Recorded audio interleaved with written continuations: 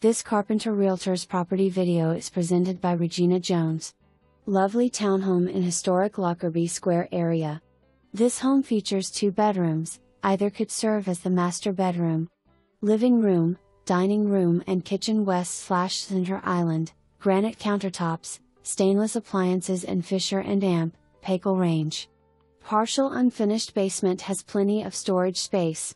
This home features many updates, 2021, new LG fridge and amp, dishwasher, 2020, new windows, 2019, new Lennox furnace and amp, AC, new tub slash shower, new LG washer and amp, dryer and new medicine cabinets. Wonderful downtown living with an easy walk over to Mass Avenue. To enjoy restaurants, shopping and entertainment.